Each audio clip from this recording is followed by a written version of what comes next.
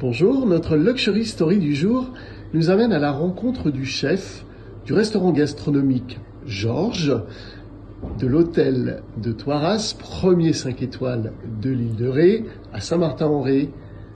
Bonjour, Jeffrey Nin Chong Wong. Bonjour Monsieur Icon Icon, merci d'être parmi nous. Alors racontez-nous, je crois d'abord que vous êtes passé par euh, les plus grands. C'est bien ça, j'ai travaillé pour Alain Ducasse à l'hôtel de Paris à Monaco. Parmi, il y avait son restaurant 3 étoiles guide Michelin Louis XV. Et ensuite, j'ai aussi travaillé pour Hugo Rollinger à Cancale, qui est notamment son père, c'était euh, le chef Olivier Rollinger des Maisons Bricourt.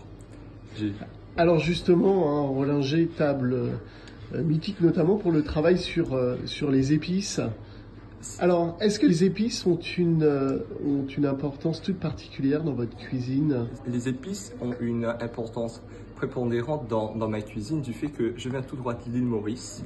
Et euh, je suis né dans un berceau de métissage, de métissage de terroir, du fait qu'il y a eu beaucoup de migration et de colonisation, notamment française, britannique, hollandaise, et il y a des migrations indiennes, chinoises, sri-lankaises, africaines. Et tout ce mélange de cultures m'a fait tomber amoureux de, de ces épices.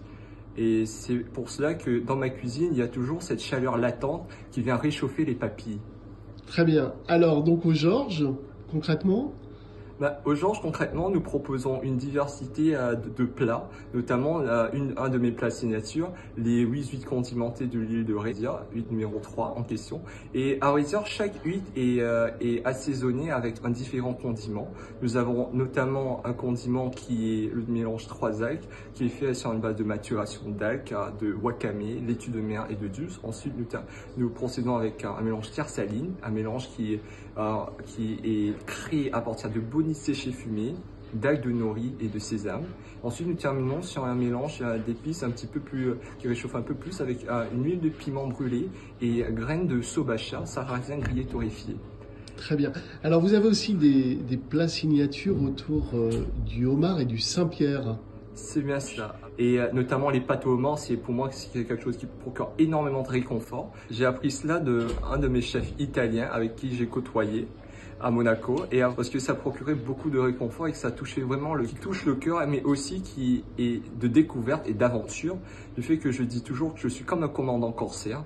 Je vais là où le vent m'emporte. Et comme j'ai quitté mon île à un très jeune âge je pratique une cuisine qui pour moi qui est très importante. C'est une cuisine qui a des influences bien sûr euh, européennes françaises où j'ai vraiment tout appris.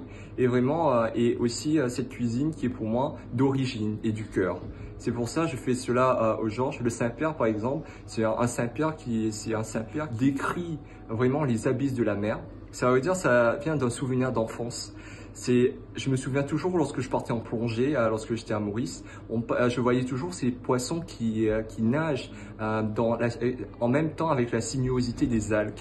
Et ces algues, ça m'a vraiment touché et j'ai voulu proposer ce Saint-Père algue du bas de l'eau, qui raconte les abysses de la mer avec cinq différentes algues notamment le kombu royal, la laitue de mer, la, dulce, le nori et le wakame. Et tout ce, tout ce mélange, il, il vraiment il démontre ce côté aventurier et aussi ce respect de terroir du fait que nous sommes au Georges, nous sommes un restaurant qui donne face au bord de mer. La pâtisserie, je crois, est aussi un sujet qui vous tient à cœur. Je suis né dans une famille de pâtissiers notamment.